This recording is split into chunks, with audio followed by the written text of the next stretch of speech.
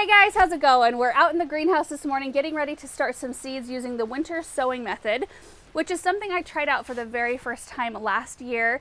And I feel like based on my experience last year that I can change some things to maybe do it a little bit better. So I just want to give you my thoughts on my experience last year as well as show you the things I'm going to change and then also talk about the things that I liked about it. It is raining though here. Let me show you what it looks like outside. It's kind of died down maybe a little bit. But for us in Eastern Oregon, any rain is awesome. Yeah, we're kind of down to a sprinkle at this point, but it's kind of dark. It's not super cold. It just feels really good to be out here. I love it. So winter sowing is essentially just starting our seeds outside really early and kind of letting them wake up almost naturally. We are providing a little bit of protection in that they each get their own individual little greenhouse, but the things I really like about winter sowing and the things I think make it really good for a lot of people is that one, it doesn't take up any space inside. Two, it doesn't require any special equipment. You don't have to make any investment in any grow lights, seedling heat mats, um, shelving, any of that stuff. Any of the seed trays, you don't need it. I mean, we are starting these seeds in recycled water jugs. You can use milk jugs, orange juice containers, whatever allows light to penetrate. Uh, and also it creates really strong seedlings. I did notice that about last year. That's one of the benefits. Because they are put through more adversity, they have to go through more cold, um, they have to go through more inclement weather. They're just going to be stronger for it. And the rain does sound like it's starting to pick up a little bit, so if you can hear it and it's really loud, I'm sorry. Um, but the last thing is that it's really low maintenance. So we pre-moisten our soil, plant our seeds, water them in, and essentially you can set them outside and because we allow the lid to stay off, um, they can catch any snow or rain or moisture from nature and it eliminates the need for you to have to constantly monitor them for water. And that's one of the things actually I'm going to be doing differently this year. Last year I started my seeds in a seed starting mix because that's just what I'm used to doing. That's what I use inside to start my seeds and it's a loftier soil blend that makes it really easy for the plant's roots to establish. But when you put them outside, even even though it's raining today, typically it's really dry here. And when I used the seed starting mix, it just didn't stay moist enough and I had to water them quite often and I had to monitor them that way. So this time I'm using the regular, this is organic potting mix here. Several of you suggested that I use that and I might even top mine up with a layer of vermiculite which helps keep moisture in and just kind of maintains moisture levels really nicely for me. So let me show you how to prep your container. This one's already done, super easy. The first thing I did was I popped four drainage holes in the bottom just using my razor blade here. It was super easy. This plastic is really flimsy. Drainage is very important though. You want to make sure that these containers can drain. Starting to get a little rain inside condensation. And then I took my razor blade and started cutting right here, kind of below the handle, and went all the way around and stopped just shy of the handle again so that I have like a little hinge here and that's just super helpful so that they stay in one piece still. And then I did take the lid off. You can toss the lid. We don't need that at this point. And these are actually reusable. So, I mean, you can either gather up through the year um, or you can clean the ones from last year and use them again. I have this bag full of water jugs and then these three. So I'm basically gonna just plant until I have no water jugs left. So before I actually start planting the seeds, I kind of want to talk about the type of seeds that you can be starting right now. You want to look for anything that's like hardy in your area, hardy perennial flowers, even annual flowers that are really cold tolerant, um, things that need a cold period in order to germinate. Like I just got my Buried Treasure strawberry seeds and it actually recommends on the back of the package to uh, put them in the freezer for three to four weeks before sowing, which is perfect so they can be outside in the cold freezing temps and then they can wake up naturally. Um, so those are the types of things. So today we're doing like breadseed poppies, amazing gray poppies, echinaceas. I had really good luck with artichokes last year. I'm gonna do some ornamental kale, some larkspurs, uh, things like that. And you can start a lot of your vegetable seeds this way too, especially like the cold tolerant things, Brussels sprouts, cabbage, broccoli, cauliflower, those can be started now because they can handle quite a bit of cold. I would probably wait on things like tomatoes, peppers, eggplant, those heat loving things. I would wait until maybe next month to winter sow. We're doing ours a little bit earlier even than last year, one week earlier because we're due to have a baby here in two weeks and I really wanted to have some of these things buttoned up and planted and it's kind of a way because I don't know what life is going to be like after baby. I have very lofty plans of still starting a bunch of seeds inside Um, but you never know. So I thought, well, as long as we've got some of these water jugs outside kind of just working away for us and we don't have to maintain them, that's kind of just nice to know that we'll have some flowers and things ready to go.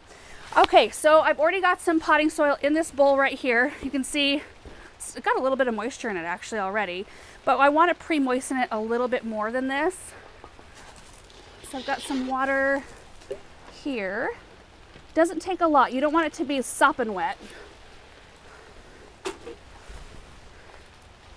I always start with a trowel and then I end up mixing it with my hands. Is probably what's going to happen today. Yeah. Pre-moistening soil helps in a couple of different ways. First off, it helps you maintain moisture right from the gate because you're not having to um, water kind of fluffy, dry, powdery soil once you get your seeds in there. It's really hard to get it fully saturated without dislodging your seeds. And that's the other thing. Last year, I put way too many seeds in each one of my water jugs. I just seeded the whole thing really heavy. And what that does is once you tape up your little greenhouse here, you don't really want to have to open it up to get in there. And I had so many seedlings in there that their roots ended up all tangled together and they were just, they had to compete for room. So I almost want to spread my seeds out like I'm planting them in a regular seed starting tray rather than seeding them so heavy. Um, and when you have dry soil to begin with, it's hard to keep them right where you want them when you water them in initially. So this is perfect. Look at this. So I'm squeezing the soil, no water's coming out, but it holds its form. So let's fill this up.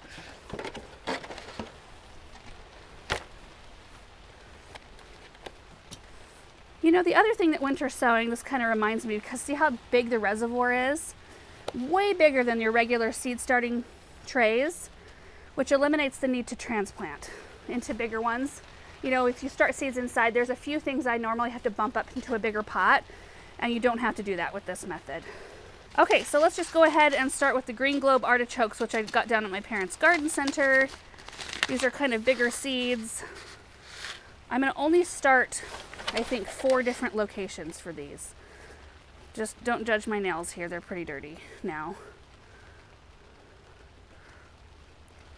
So last year, I would have just spread these seeds all over the top of the soil surface. This year, if I have them like this, then I can get in with my trowel and kind of cut them apart when I'm ready to plant, make it much better. So I'm going to put three seeds in each one of these holes. See that? It's just about perfect. I'm going to cover them over. And then I've got some vermiculite down here. This is probably not necessary, not on everything, but it does it does help. I, I know in indoor sowing tremendously to help keep moisture levels stable. And then we've got a water bottle here, and this is my initial water in. And for those of you who live in a real wet climate, this might be the only time you have to water them until they're about ready to be planted out in the garden. For me, I'll probably have to water them oh, I don't know. Maybe since I'm using the different soil mix and the vermiculite, maybe once a week I'll check on them. Hopefully I won't have to water them much.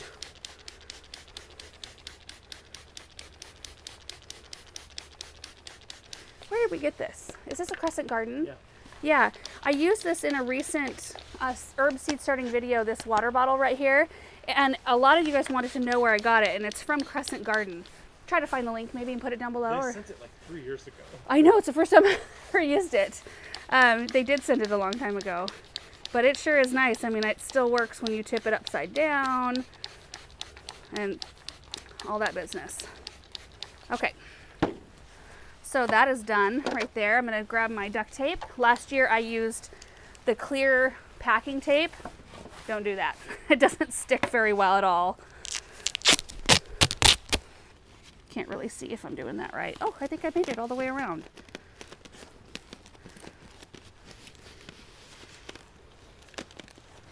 Oh, nice. Yeah, with the clear tape, I had to go around like three times so it could stick to itself rather than trying to make it stick to the water jug. Of course, it would help if it wasn't so damp out here. Now you need to label. So last year I put the labels in permanent marker on the water jug up here, which I'm gonna do still today. But I'm also gonna write it on the duct tape as well because I think it holds better. I heard that from a lot of you guys. So, okay, hold on. Gotta get down for this part. Oh, that's hard. Maybe I can tip it a little bit. By the end, when I was ready to plant stuff out last year, I could barely read what I had in each one of these. Ideally, you would be put, maybe I'll put a stake inside the rest of them too, just so I've got extra, extra identification. Green globe. I was going to write golden globe artichoke. Okay, and then I'm also going to date it. 1 4 21. That one's done. So basically all we do is we take this finished little greenhouse and we set it outside somewhere. Um, somewhere where it's semi-protected in that it's not going to get wind like crazy. Um, last year I put mine right in front of the greenhouse, which is what I'll do again.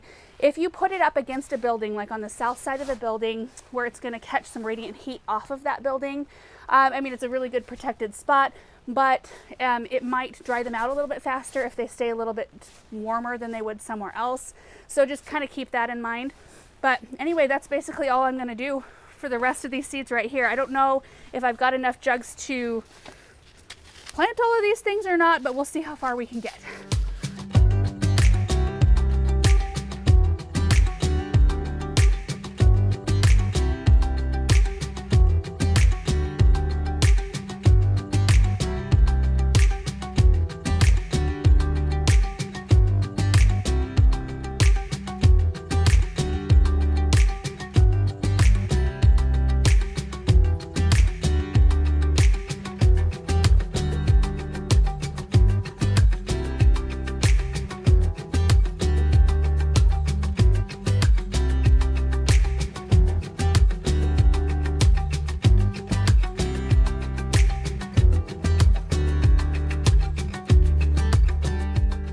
They're all done. These are my last two right here. I actually brought out 20 packets of seed and I had 20 water jugs. I didn't even plan it that way, but I want to show you where they're all going out here.